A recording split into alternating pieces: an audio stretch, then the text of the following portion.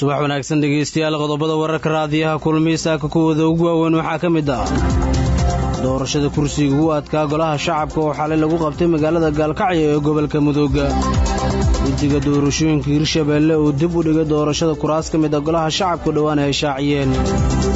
Mas'uul ka tirsanaa dowladda kenya oo afduubteen al-shabaab oo la sii daayay ee booliiska kenya war ka soo saaray dhalinyaro soomaali oo dhowaan ku geeriyooday xeebaha dalka gariiga oo maanta lagu wado in lagu aaso waddankaasi.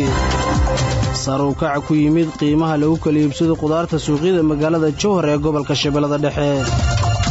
Dowladda yukrein oo la ogaaday in maxaabiis ka soo jeeda tanzaniya ku qasbayso inay dagaalka la galaan ciidamada raashka.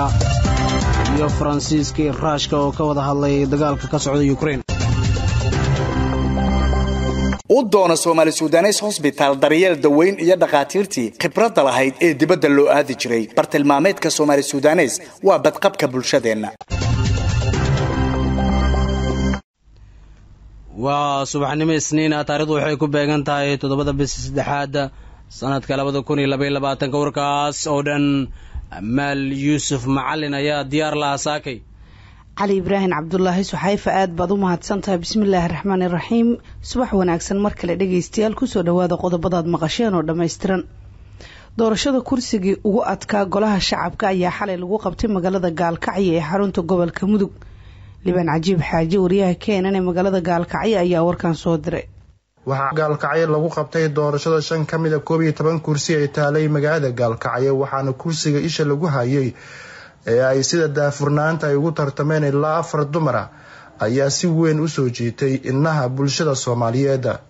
Kursiga tirsigiisu yahay hoob lixdan ayaa waxaa horey ugu fadhisay xildhibaan uwax tahliil warsame waxaana wareegii labaad isugu soo haray labada musharax ee kala ah qaali shira cali iyo xildhibaan uwax tahliil waxaana ugu dambeyntii xilka kursiga hoob lixdan ku guuleysatay xildhibaanaad qaali cali shire oo ku soo baxday kursiga sida weyn loo hadalahayay ayaa ugu dambeyntii u mahad celisay ergadii dooratay. Ugu horeyn waxaan rabaa inaan u mahad celiyo qaaliqa ilaahayna abuuray. Marka labaadna waxaan rabaa inaan u mahad celiyo ummadda soomaaliyeed. Mar labaad iyo mar saddexaad iyo mar afaraadna waxaan rabaa inaan u mahad celiyo beesha wuqujira aan ka dhashay ee maanta ii igmaday inaan halkaan imaado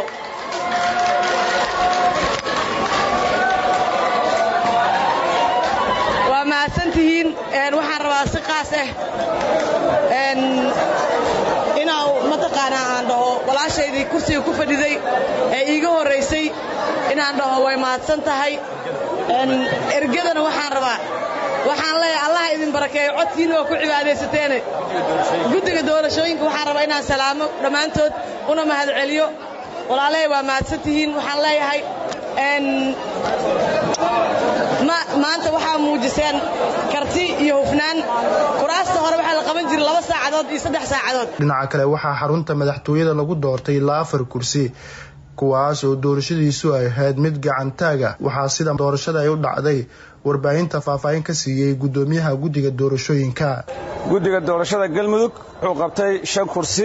Kursigii u horreeyey wuxuu ahaa hoob eber saddex-iyo toban. Waxaa isu diiwaangeliyey aadan cismaan xuseen iyo maymuun xuseen maxamed. Waxaa guulaystay aadan cismaan xuseen oo helay siddeetan iyo laba cod kursiga labaad uu qabtay guddiga doorashada galmudug wuxuu ahaa kursiga hoob hal eber hal. Waxaa isu diiwaangeliyey xirsi aadan rooble iyo caayisho xirsi maxamed kooramku wuxuu ahaa siddeetan siddeed. Waxaa guulaystay xirsi aadan rooble oo helay siddeetan siddeed cod. Kursiga saddexaad ee guddiga doorashada galmudug qabtay waa kursiga nambarkiisu yahay hoob eber eber hal waxaa isu diiwaangeliyey jawaahir maxamed axmed iyo farxiyo xasan maxamed. Kooramku wuxuu ahaa boqoliyo kow. Waxaa guulaystay jawaahir maxamed axmed oo heshay boqoliyo kow cod. Kursiga afaraad uu qabtay guddiga doorashada galmudug waa kursiga hoob eber tobaniyo toddoba waxaa isu diiwaangeliyey qaladla cali cawaale iyo axmed cismaan aadan kooramku wuxuu ahaa toddobaatan iyo sagaal guulaystay qaladla cali cawaale oo heshay toddobaatan iyo sagaal cod. Kursiga shanaad ee guddiga doorashada galmudug qabtay waa kursiga hoob eber lixdan. Waxaa isu diiwaangeliyey murashaxiin ah shan ka kooban oo kale ah ubax tahliil warsame. Hodan cabdulaahi shire qaali cali shire ayaan xuseen xasan iyo nafise qaasim bulxan kursigan wareegkii koowaad wuxuu ku soo dhammaaday ubax taliil oo afar hodan cabdulaahi shire oo heshay qaali cali shire oo heshay ayaan xuseen xasan oo heshay siddeed. Nafisa qaasim bulxan oo waxba helin. Kooramka kow waxaa loo gudbay wareeggii labaad. Waxaa isku soo baxay ubax taliil warsame iyo qaali cali shire. Wareeggii labaad wuxuu ku soo dhammaaday qaali cali shire oo heshay iyo ubax taliil warsame oo heshay sidaa daraaddeed kursiga hoob eber lixdan waxaa ku guulaystay qaali cali shire oo heshay lixdan iyo kow cod. Guddiga doorashooyinka hirshabeelle seed qoraal ka soo baxay ayaa lagu shaaciyey in dibudhac uu ku yimid jadwalkii soo gudbinta. Guddiyada soo xulaya kuraas ka mida koob iyo tobanka kuraas kuwaasoo deegaan doorashadoodu tahay magaalada beledweyne ee xarunta gobolka hiiraan qoraalka guddiga ayaa lagu yiri waxaan ku wargelinaynaa dhammaan daneeyaasha doorashada. In dibudhac ku yimid jadwalkii soo gudbinta guddiga xulista ergada ee guddigu shaaciyey taariikhdu markay ahayd labada bisha saddexaad labada kun labaiyo labaatanka sababo la xiriira arrimo farsamo awgood.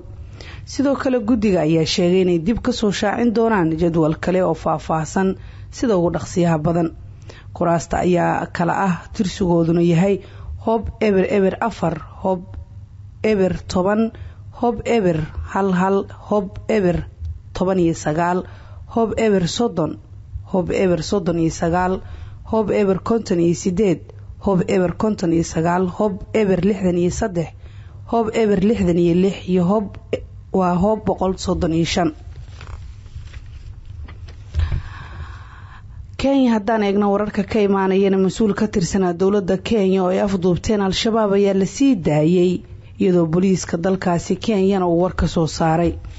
Maslax abuukar xaaji wariyaha kenya ee kenen ayaa soo waramay maxamed buule waxa uu ka mid ahaa guddoomiyeyaasha mid ka mid a xaafadaha ismaamulka mandheera lix bilood ka hor ayaa koox loo malaynayo inay ka tirsanaayeen al-shabaab waxa ay ka afduubteen lafey oo ka tirsan maamulkaasi.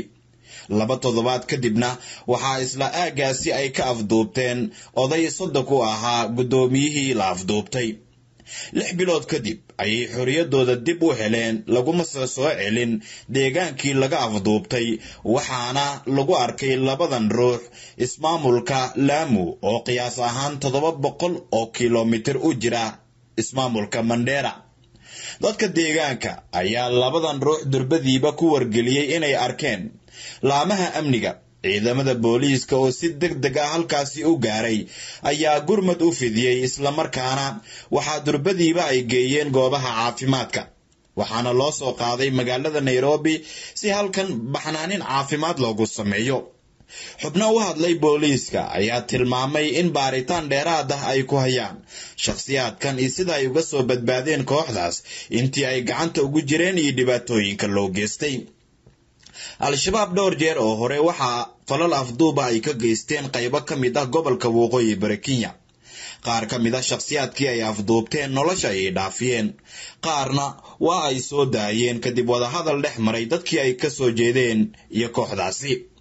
Hase haatee booliiska ayaa laga warsugayaa inay warbixin dheeraada ka soo saaraan shakhsiyaadkan la soo daayey iyo weliba sida ay ugu suura gashay maslax abuukar xaaji k n n nairobi waryahayaga maslaxaad buu mahadsan yahay.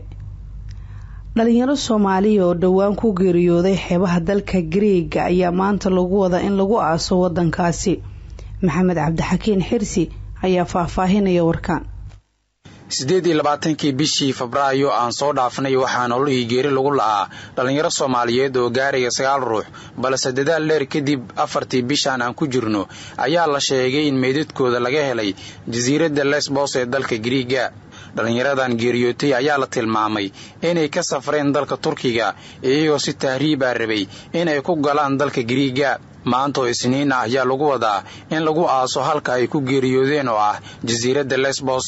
Ciise shiine oo ka mid ah suxufiyiinta soomaaliyeed ee ku sugan dalka turkiga ayaa arrintan ka warbixiyey isagoo waraysi siinayey laanta af soomaaliya ee v o eda dhalinyaro soomaaliyeed oo tiradoodu dhameed sagaal qof ayaa waxaa la lahaa siddeed bishii aynu soo dhaafinay labaad labadii kun iyo labaiy labaatankii ilaa afartii bisha wax wara lagama hayn muddo adigu afar cisho meelahaasi ah wax wara lagama hayn.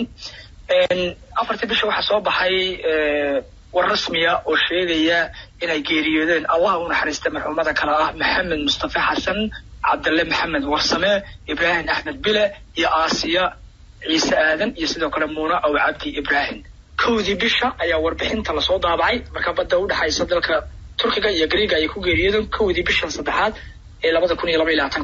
Maanta oo isniina lagu aaso jasiiradaasi lesbos khaasatan magaalada matalini oo laga helay meydadkooda xeeliga badda qaabka loo aasi doonaana waxay noqon doontaa jaaliyadda halkaasi ku nool ama jaaliyadda soomaalida halkaasi ku nool oo is-abaabule muddooyinka ugu dambeysana aada uga shaqaynayay xaqiijinta dhalinyaradaasi geeriyootay. Aadna habeen iyo maalina aan ka seexan baa waxay samayn doonaan haddii bikunu yahay inay toos u tagaan cisbitaalka meydadku hadda yaalaan oo safaaraddu warqad ay u qortay laamaha amniga ee ay khusayso ee dalkaasi greega ay u fasaxayaan meydadkaasi in ay dhalinyaradaasi aasan karaan. Turkiga waxa uu marin u yahay dadka u tahriibaya dalka giriiga balse waxay inta badan ay kala kulmaan.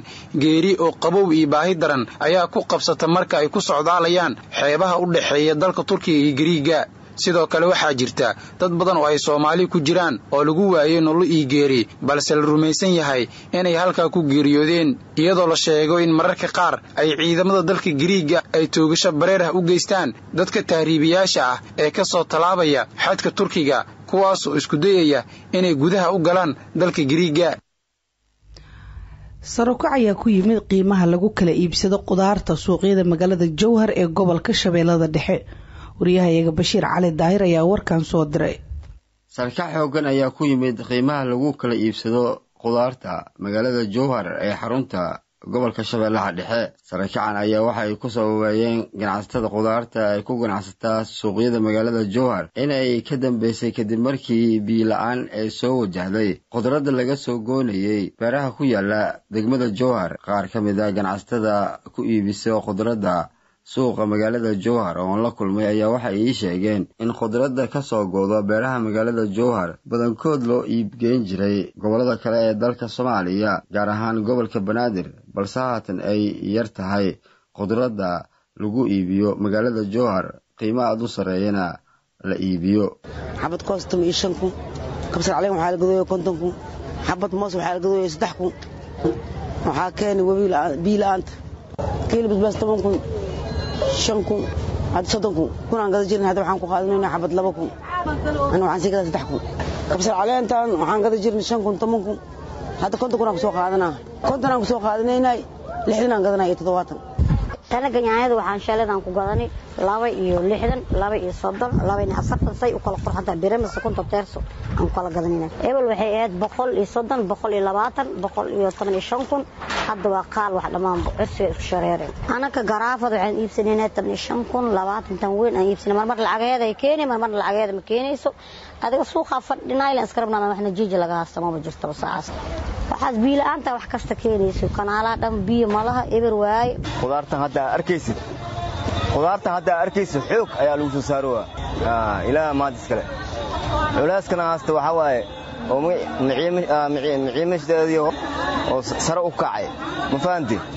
Qarashkii beerta naga galay iyo qarashka ka imaanaya weliba maciishadiina koray u kacday oo qudaarta qarashkiina oo beerta naga galin haddii ilaa hadda miisbixinayso waa garataa mulena wallahi webiga biila-aan ee beerihii motor jankafaa la saarowaa oo qofkii shaqaaley ka baxaayo oo shidaal ka baxaayo oo xamaaliga gaarig shidaalka loo geynaya beeraha. Waa la yaabeen walla ilaahay maciise ilaaha noo keena roob ilaaha noo keeno webigan ilaah biyaa noo keeno shan gacanoo liimo shan kun waaye kabsa caleentaana shan kun waaye dadkan wax badanay rabaan. Wax yar mara iyo baday ku leeyihiin haddii oo dabakaayada geys barbaroonigan waxaa waa shan kun waa maciise maciise saddex gacana shan kun anaga waa sii iibgeyna dadka inaan ka sii gadaa rabaa anigana oo suuq soo galo oo maciise oo sii gado iyagana qaali ku soo gadaayeen anigana qaalkii waxaa ii sii saara iyagana waxaa u sii saara. Xilliga lagu jirno ogtahay waa dabeelii biila-aantii roobkii maciise meesha kiraa laga raba ijaar waa khudaartii qaali waa. Naaga safraa loo keeno wax walbaa loo keeno adeeg walba laxaa saaran shacabka ku dhaqan magaalada jowhar ee xarunta dowlad goboleedka hirshabelle ayaa walaac xoogan ka muujinayo sicirbarar baahsan oo ka jira suuqyada magaalada jowhar gaar ahaan khudradda. Sidoo kale raashinka khuutulduruuriga taasoo inta badan sarakac xoogan laga dareemayey muddooyinkii la soo dhaafay. Waxaana haatan jirta in dadka danyarta ay saameyn ku yeelatay qiimo kororkan ku yimid miciishada kala duwan iyo khudaarta lagu iibiyo magaalada jowhar bashiir cali daahir raadiyo kulmiye jowhar waxaad dhegeysanaysaan warka subaxnimo ee raadiyaha kulmiye xaruntiisa magaalada muqdisho ayuuna idinkaga imaanayaa. Warbaahinta tunisiya ayaa daha ka qaaday dukumiinti ay maamulka yukrain u qaybiyeen maxaabiista ajnabiga ah si ay uga qayb qaataan dagaalka ka dhanka ah raashka si loo sii daayo raadiyo musaig ayaa soo bandhigay dukumiinti lagu soo bandhigay shan maxbuus waa tunisiyaan ah oo ku jira xabsiyada yukrain si ay u saxiixaan oo ay u aqbalaan inay ka qayb qaataan dagaalka si loo sii daayo. Idaacadda ayaa ugu baaqday maamulka tunisiya iyo hay'adaha xuquuqul insaanka inay wax ka qabtaan arintaasi kana hortagaan. Waxaa xusid mudan in madaxweynaha yukrain valadimir seleniski uu horey ugu dhawaaqay in maxaabiista iyo dembiilayaasha la sii dayn doono loona diri doono goobaha dagaalka. Ugu dambeyntiina madaxweynaha raashka valadimir putin iyo madaxweynaha faransiiska emmanuel macron ayaa khadka telefoonka ku wada hadlay ku dhowaad laba saacadood. Waxaa jira faahfaahin ka soo baxaysa wadahadalkooda xarunta madaxtooyada faransiiska ayaa wararka ka soo baxaya waxay sheegayaan in emmanuel macron uu ku booriyey putin inuu soo afjaro duulaanka raashka ee ka dhanka ukrain sidoo kale macron ayaa ku booriyey raashka inuu ilaaliyo goobaha uu yaalo nukliyeerka ka gadaal markii uu ku habsaday gantaal kaasoo dhaliyey in xarunta nukliyeerka waa xarun ka mid a xarumaha nukliyeerka uu dab ka kaco. Putin ayaa u sheegay macron in raashku inaanu weerarin xarumo ku yaalla ama xarumo ay yaalaan nukliyeerka sida ay sheegayaan wararka laga helaya dhanka faransiiska. Sidoo kale putin wuxuu u sheegay macron in hadafka uu tiigsanayo raashku uu ku gaarayo laba midkood dagaal ama wadaxaajood sidaasi waxaa sheegay xafiiska madaxweynaha faransiiska emmanuel macron. Gudahaan warkii subaxnimo aad kala socoteen saaka raadiyaha kulmiye waa naga intaa